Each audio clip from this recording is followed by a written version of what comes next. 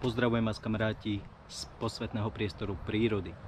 Dnes sa s vami chcem podeliť o zábery jelenia, ktorého sa mi podarilo prilákať vábením.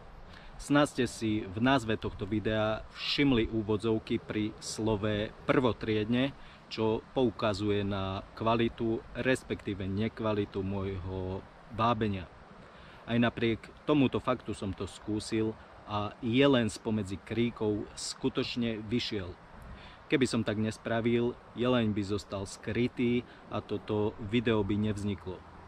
Z toho vyplýva poučenie, že síce ten, kto nič nespraví ani nič nepokazí, no ten, ktorý sa pokúsi činom o úspech, svoj zámer môže dosiahnuť.